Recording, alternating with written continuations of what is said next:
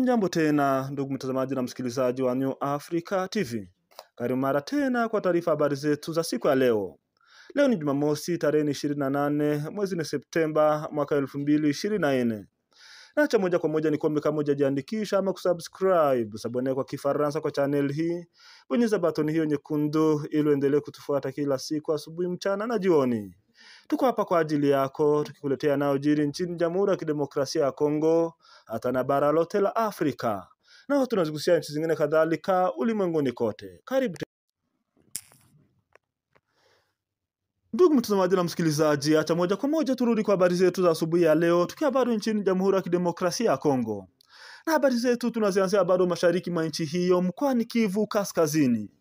Acha moja kwa moja tuanzie update zetu mjini Goma, alafu tukuja kumalizia kwenye uwanja wa mapigano. Hapo ni katika eneo la Ruchuru, eneo la Masisi, hata na eneo la Nyiragongo, pale ambapo hali ya usalama endelea kuchafuka na kuwa mbaya zaidi. Lakini kabla tuelekee huko, nataka moja kwa moja tuanzie habari zetu mjini Goma, pale ambapo pia hali ya usalama endelea kuchafuka na kuwa mbaya zaidi. Hapo ni baada ya mapigano makali ambayo ameshuhudiwa hapo juzi kati ya kundi la wazalendo na jeshi la Kongo ambalo limejulikana kama FRDC. Les FARDC et les jeunes résistants Wazalendo se sont réconciliés ce vendredi le 27 septembre 2024, après l'incident qui a conduit aux échanges de tirs autour du cadre déplacé de Lushagala. Ndugu mtazamaji na msikilizaji, hapo ni baada ya mapigano makali ambayo yamesababisha makundi haya mawili, yaani vijana wa kizalendo pamoja na jeshi la Kongo, kwanza moja kwa moja kukabiliana.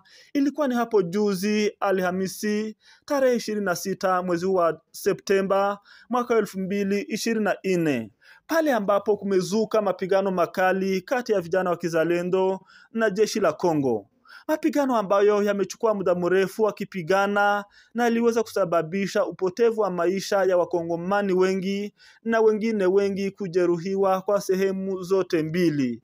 Baada ya mapigano hayo makali, ndugu mtazamaji na msikilizaji, hapo jana Ijumaa tarehe ishirini na saba mwezi wa Septemba mwaka wa elfu mbili ishirini na nne walianza moja kwa moja upatanishi ama reconciliation kati ya pande zote mbili, jambo ambalo lilikuwa limezua wasiwasi na oga mingi kwa wakongomani wote kwa ujumla, akisema kuwa wazalendo wakianza moja kwa moja kupigana na jeshi la Kongo, hiyo sasa itakuja kusababisha jeshi la Kongo pamoja na wazalendo kushindwa vita ambavyo walikuwa wanapigana na M23. Kumbuka kuwa makundi haya mawili yalikuwa hizi siku zote yakipigana pamoja, wakilenga kupigana na kundi hili la wasi wa M23, wakiweka nguvu zao pamoja, lakini wakongomani wengi walikuwa wameanza kulia kuwa jeshi la Kongo likianza kupigana na vijana wa kizalendo, sasa hapo wamepeana njia kwa M23 kwa kuweza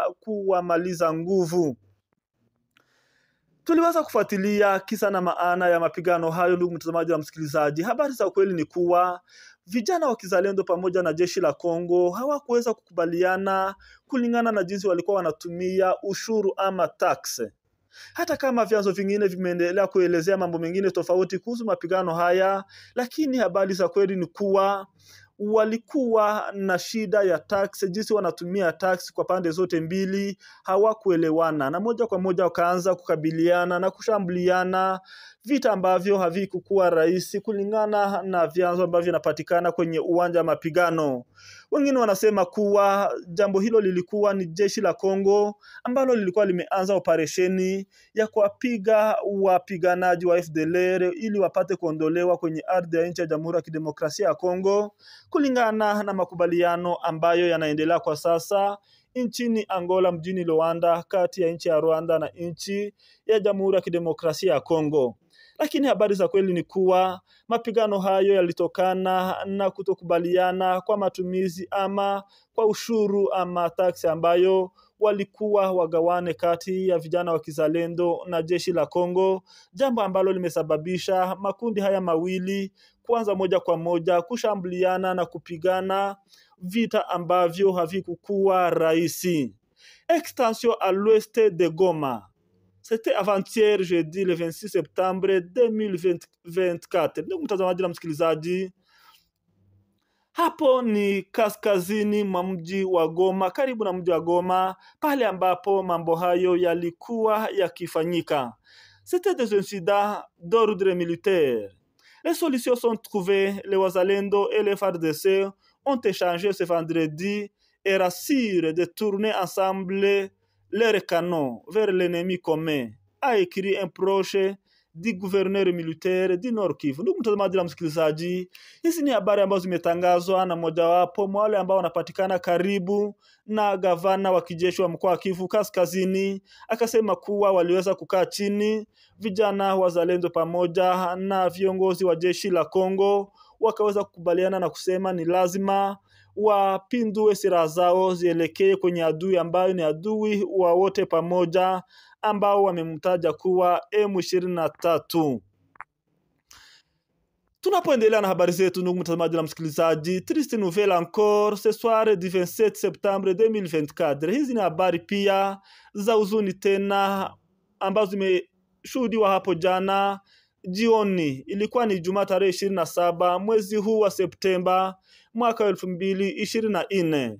Edmond le coordonnateur de la radio Maria Goma vient d'être abattu sur avenue Lusuli, quartier Ndosho, vers le CS, euh, le CS Stawin, par des malfaiteurs qui lui ont logé des balles dans sa poitrine ce soir ka il se rendait à son domicile. Ndugu mtazamaji na msikilizaji, hii ni habari ya huzuni tena ya kusitisha ya ndugu ambaye amejulikana kwa jina la Edmond ambaye alikuwa ni coordinator kwenye redio ambayo imejulikana kama Radio Maria Goma ambaye aliuliwa hapo jana jioni alipotoka kazini akielekea nyumbani.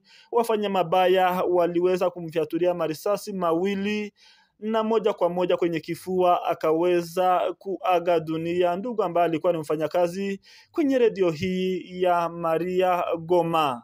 Tunapoendelea na update zetu za asubuhi ya leo, trois Congolais ont été libérés des mains du groupe terroriste islamique Alliance des forces démocratiques et alliées ADF MTN, MTM lors des affrontements ayant opposé mercredi ces mouvements terroristes et les forces armées de la République démocratique du Congo, FRDC, euh, soutenues par l'armée ougandaise UPDF, dans la forêt du village Biakongo, dans le territoire de Lubero, Nord Kivu.